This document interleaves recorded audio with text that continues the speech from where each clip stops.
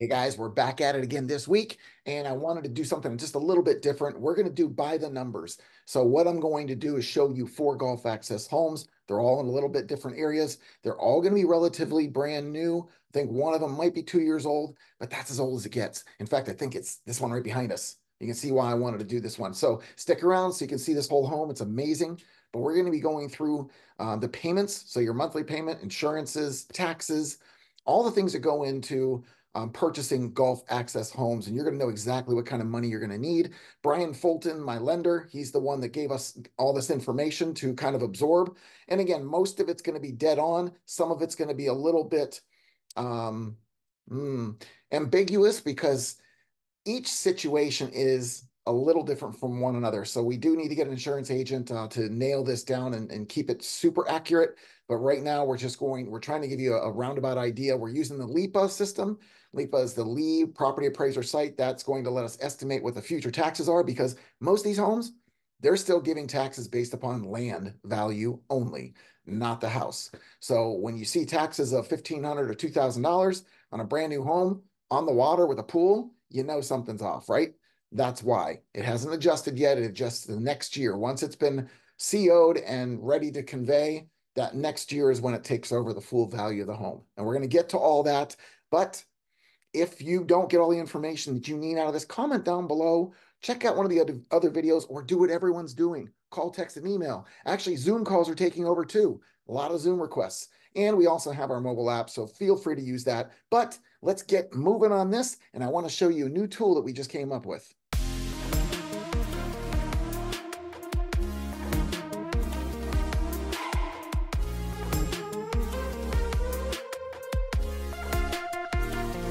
Okay, so Eric is working with me now, and Eric comes from New York. Uh, so there's a lot of insight that he's given me from his market, and he built this map. So basically, what this map is going to allow us to do, each one of these red icons, if you click on it, it tells you the max tide height.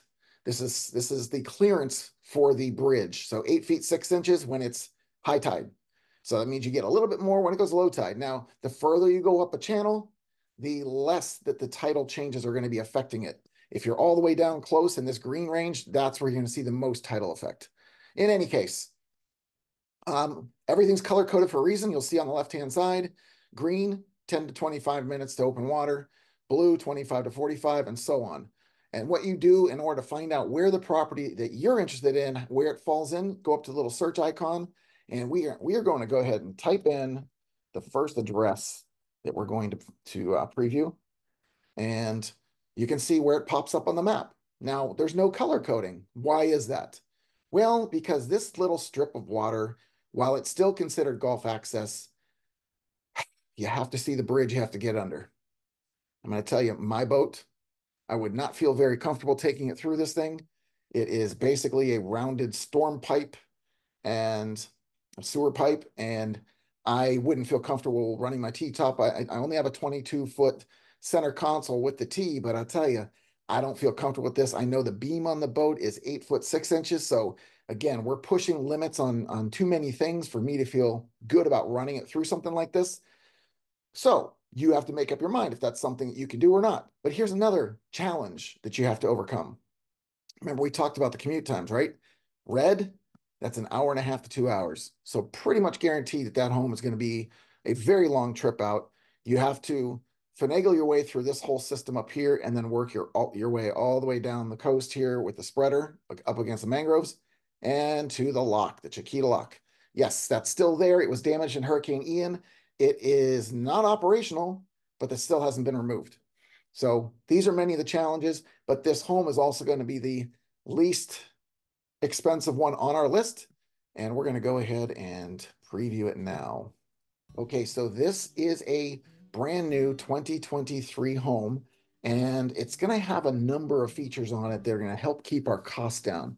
So you're going to you're going to see exactly what I mean as we go through this. First off, this home, as you can see, done very well with the wood plank tile floors, uh, not the LVT that people are using now. It does have the quartz backsplash, all the all the fixtures and the things you'd be looking for on a home of this caliber. It does also have the storm protection. It has the impact windows and doors, cathedral ceilings, This home also comes furnished. So all the light fixtures, the draperies, yep, the dining set, the couches, the TV, it's all included. Now, this isn't turnkey. Turnkey would be also dishes and glasses and linens and things. This home was staged for this, so they're kind of allowing to pass on this furniture. But aside from the furniture, let's get into the house. This is a four bed, two bath, two car garage home situ- situated on a quote unquote Gulf access canal. There is no dock and lift. So that would be an additional charge for you to put those things in.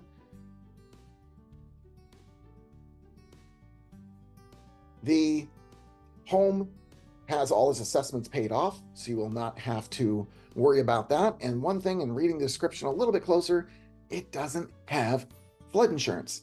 So that's going to save you a little bit more money. Uh, there is a warranty on all these new construction homes.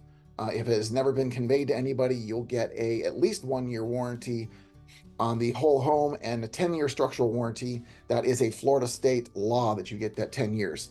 So the builder will be responsible for taking care of the home if anything foundationally is wrong with it.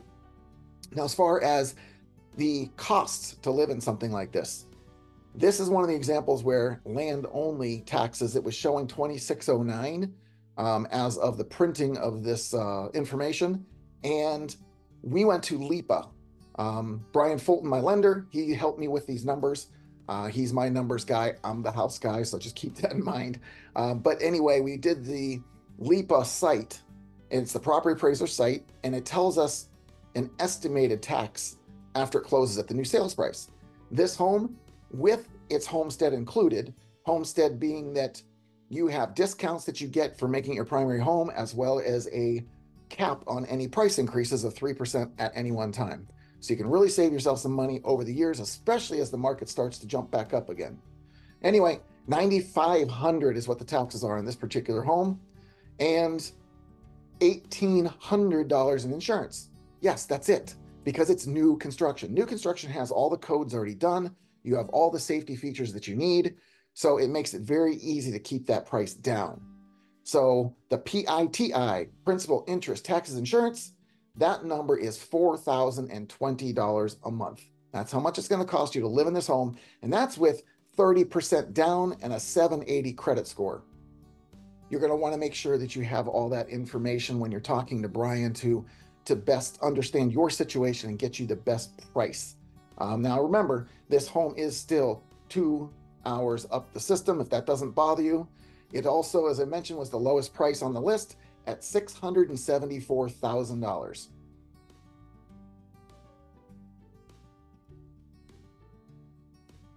So, what we're going to do now is we're going to jump into our second property, and we're just going to keep this thing moving right along. I have to share my screen again, guys. Sorry about that. Matlacha Isles. Matlacha. For those of you that have trouble with that pronunciation, is Matlacha. And as you can see, it's green. Look at that. That sucker's right there. And that is, if you remember, 10 to 25 minutes out. This looks like it's just up, over, and around. That's probably a 15 minute jaunt to get to the pass. And now you're full full throttle if you'd like to be. But this is direct access, no bridges. Usually one of the most expensive properties because of it. Now, this particular neighborhood is a little bit um, more tighter quarters. Um, it might be by way of the way the area was platted out in the beginning. So note that when we're looking at the property, your neighbors will be a little bit closer than maybe some of these others. Uh, the canal sizes are going to play a part in how big of a boat you can get. So while this is direct access, no bridges, the canal might not be big enough for you to get that really big boat that you want. However, if I remember correctly, I think there was a pretty decent sized boat in this channel. So we're going to go ahead and jump over to that and get you going on the property tour.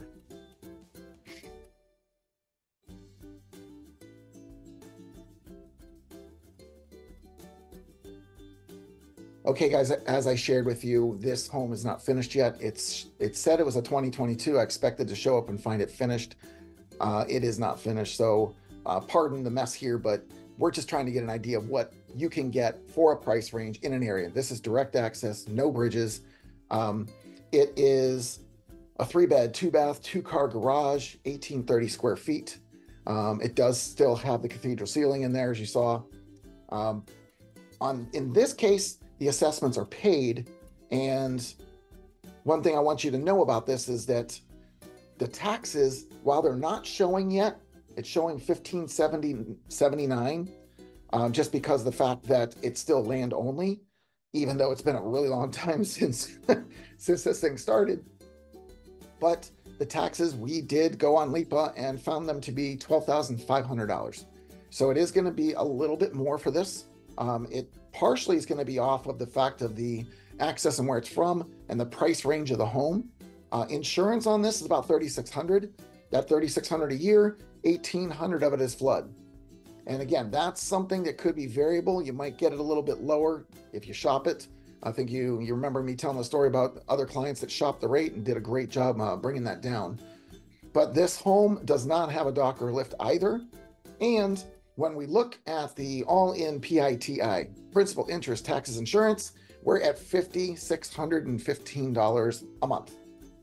So with that PITI being there, it is again, it rolls everything into it. So yeah, it's it's all included, but uh, the purchase price on this home is 930,000 and you can see what you get. I mean, it's it's done nicely. It's again tighter quarters. This particular home didn't even have electric, so I'm I'm sorry that the video isn't going to be as as crisp crisp and clear and show all the shiny parts, but uh, we're doing the best we can with what we have.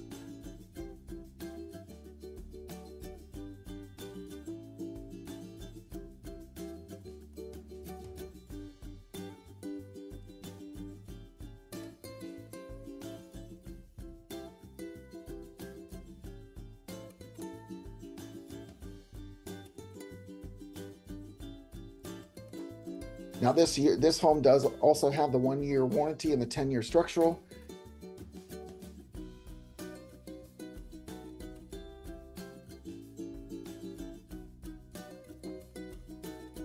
All right, we're out of here. The next one we're going to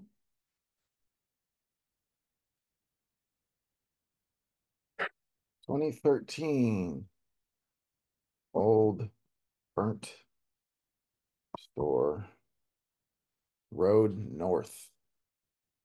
Okay, we see a whole nother color there, don't we?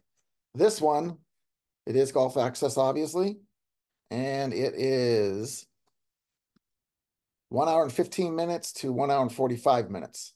So it is close by the bridge. So it's not going to be too awful long to get over to the spreader. So that, that does cut it. It's probably closer to the hour and 15 minutes then. But keep that in mind as another thing you're going to be dealing with.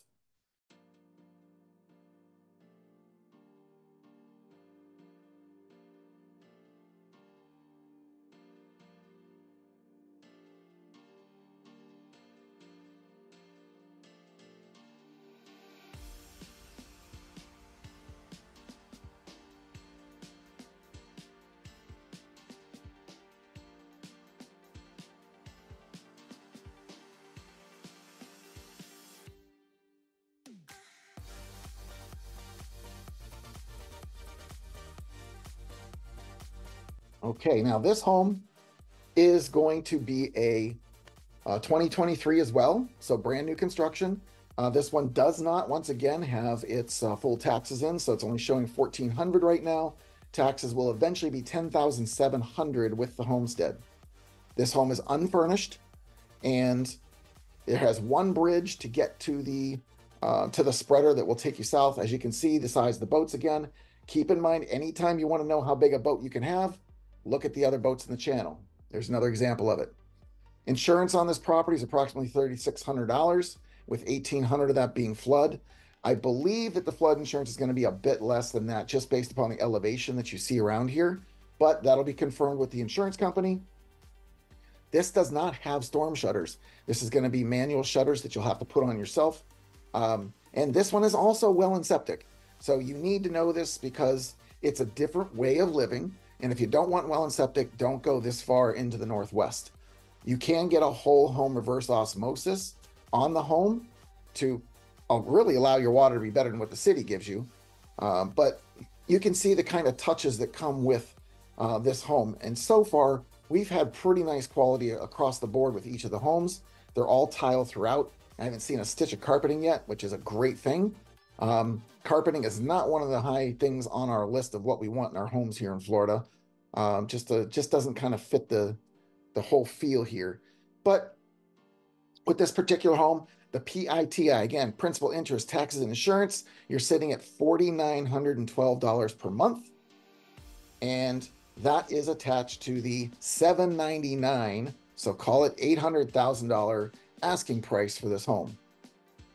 It is a three bed, two bath with a two car garage and 1,815 square feet.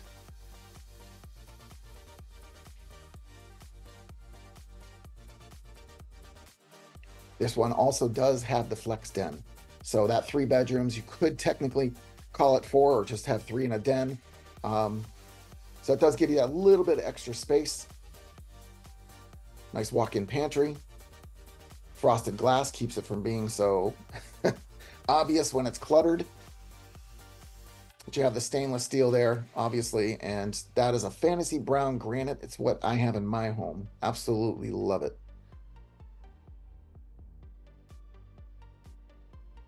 Pool bath is vital, um, especially if you have young kids or if you're going to have guests over often. Keep them from dripping all over the house to come in. Believe it or not, I've seen homes that are million dollar homes, million and a half, two million, that don't have a pool bath entrance. Like you literally have to go through the house to get to the bathroom. So having this pool bath is a big bonus. Uh, also, the tiki hut that's down on the on the uh, dock You've got that taken care of already, but there's no lift. So you still have to invest the money if you want the lift to, to get your boat up out of the water.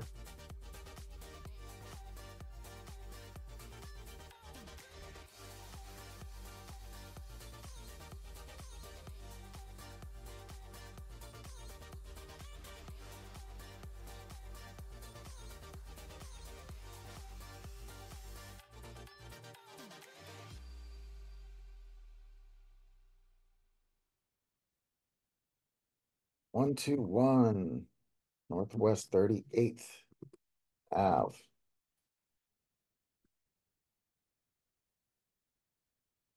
Now you can see there's our little dot. There's our Gulf access. There's one bridge right here to get to the northern spreader. And with that color that we're working with, that's 25 to 45 minutes to open water. That is a nice commute. And it's going to be on the shorter end of that because it is so close to the bridge and to the uh, pass there. Let's go take a gander at the property.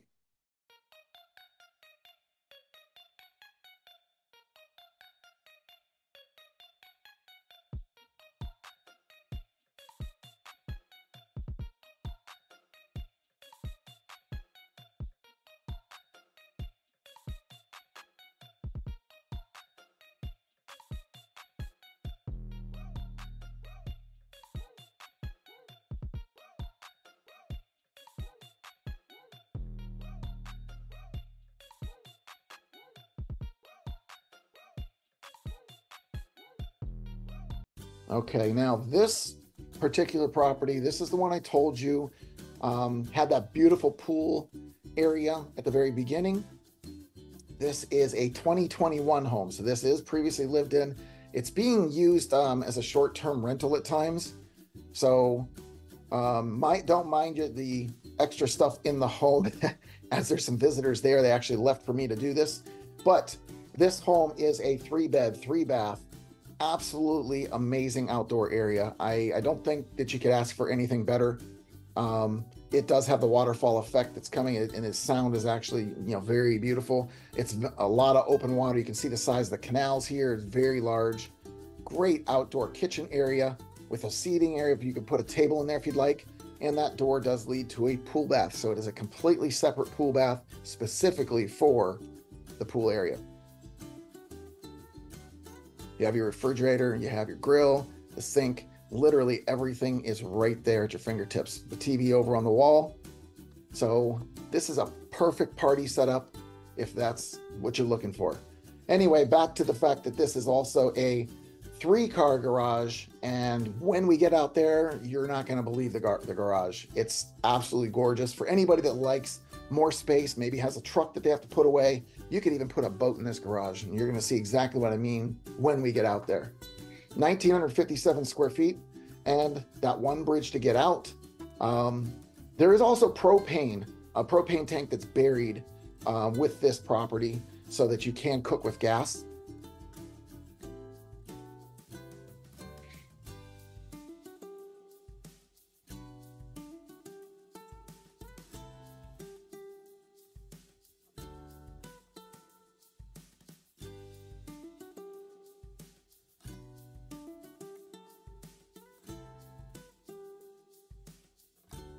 Now the home is completely um, finished with impact windows and doors.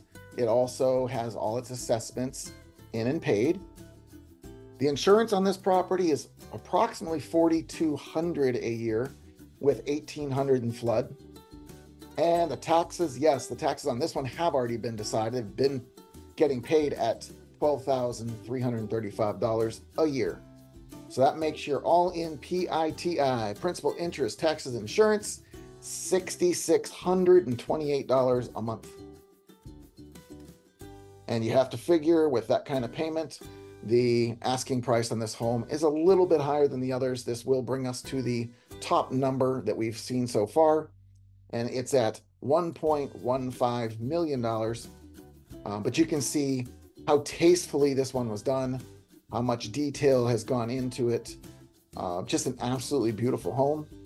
There's an Amazon package over there. I must have left one here. Seems to be uh, my favorite place. Anyway, this home is turnkey. This is another reason why I was thinking that this is a short term rental because turnkey is um, something that normally happens when it is a short term rental. It's very easy for them to turn it over. It's very easy for somebody that wants to continue the short term uh, rental process everything's already there, everything's already done, you're ready to go.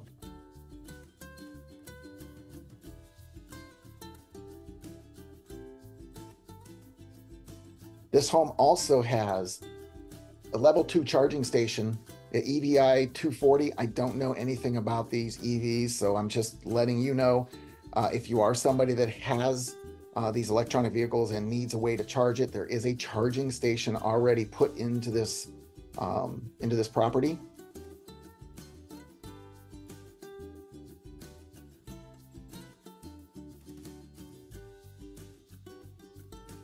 As you saw already, there is no dock and lift.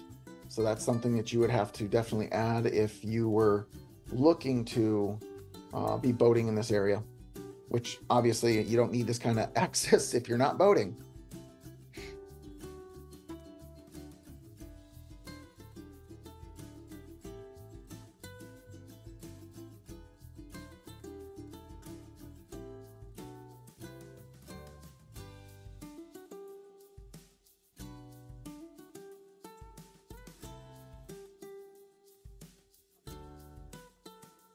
Now, gents, hold on. Here we go, getting into this garage.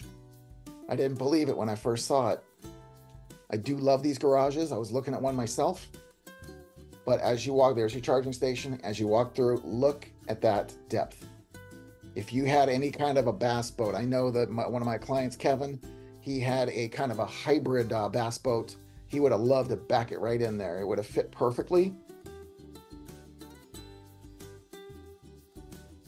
But that's for those people that really, really are looking for extra storage space.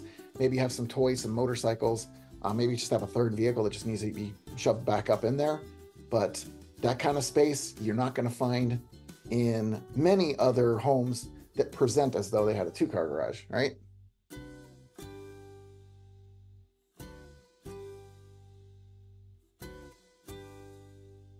Okay, so that is what we have found with our little uh, shopping experiment here and going in with the data, giving you the numbers, letting you know what the payment's going to be with this stuff. This will give you an idea now when you're looking at homes in these price ranges, what to expect. So if you have any questions, if you have any comments, put them down below, but any questions whatsoever, check out one of these other videos. And if you have a specific question for me and my team, you can call, text, or email. Again, schedule a Zoom call. I'll put the link down below in the comments or you can go ahead and check the mobile app. We have that available for you as well. If you want the link to that map that I showed you, let me know. We can send it to you. You'll have access the same way we do to find out how long it's going to take to get out. But with all that said, thanks again for showing up, and I look forward to seeing you next week.